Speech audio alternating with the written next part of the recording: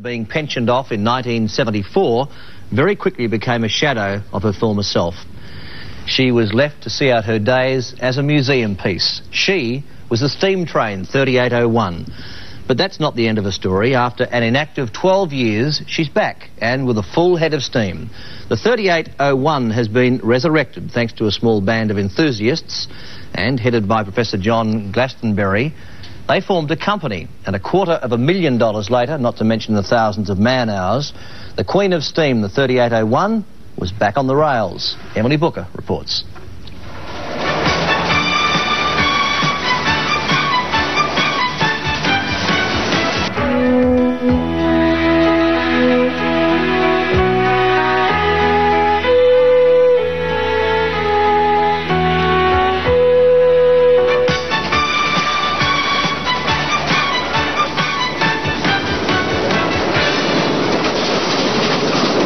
Look like a, a living, moving, uh, like, like almost human.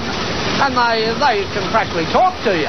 They can talk loud when you belt them along, or else they can just go nice and quiet. And, uh, you know, you go back to the old school days when you, uh, the teacher told you about the train going along. I think I can, I think I can, I think I can. When they get up to the top of the hill, I thought I could, I thought I could, I thought I could.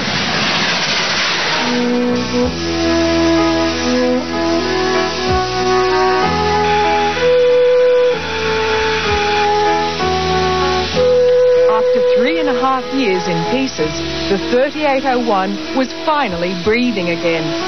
Water was whistling through its pipes, coal was glowing in its furnace, and the engineers were checking every little detail.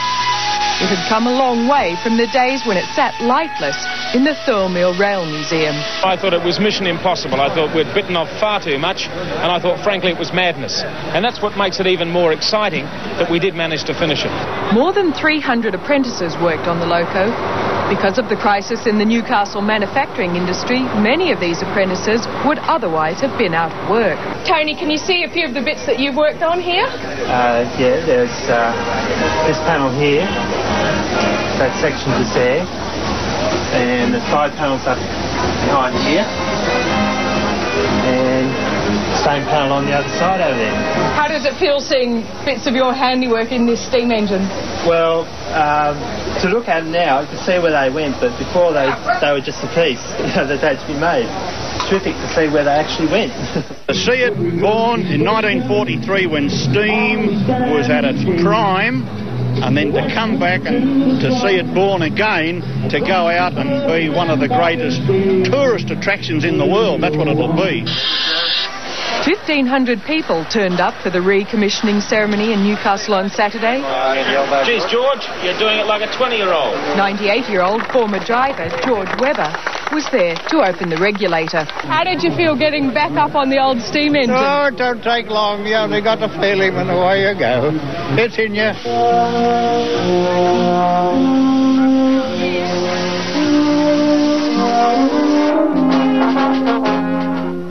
Look as good as it did before to you? Oh, it's never cleaned up like that before. No, never.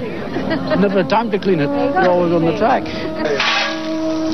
David Hill shovelled the first official load of coal, with a few tips from driver Clem Poetska. It's now 12. Huh? Round the corner. The trouble is, folks are always telling me I'm doing it wrong. How many years you done? 43? What are you going to do when you retire? Have to go to Fiji. Yeah, oh, that'll be good.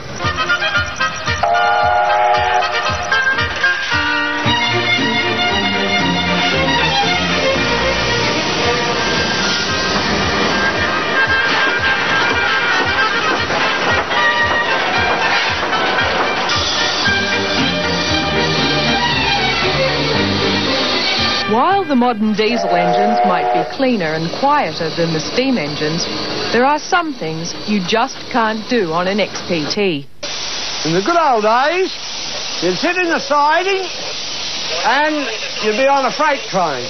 And you'd be there for the, the mails and the passengers to go past you, so you'd have a feed. This was very good on a cold winter's morning. Hey, another one. Empty shell into the firebox. And there you are. Now, how do you like your eggs? Sunny side up or not? While the breakfasts were good, the steam engines also had their drawbacks. In the summertime, they're pretty hot. So you, you get up to, it, you know, hot day. Well, you can imagine hot day outside, what it'd be like inside. And after you did a double to Sydney, and uh, you'd shovel about two ton of coal to start off with, another four ton going down, another four, four and a half ton coming home, so you'd be up to shoveling 11 and 12 ton a, a shift. And they used to call these 38 class the wife starvers. Because when you got home, all you wanted to do was go to bed by yourself. But no one was complaining about the shining green engine on Saturday as they celebrated its return to the tracks. This is the first of the giant 38 class loco that were introduced in the Second World War. These were the big troop carriers on the east coast of Australia. It's the only locomotive that uh, has been all around Australia and will do so again, and it can do 100 miles an hour, the old fellas say. Faster than the XPT. Well, all of the old fellas here today are boasting that this thing can beat the XPT. I don't believe them, and now we'll put it to the test.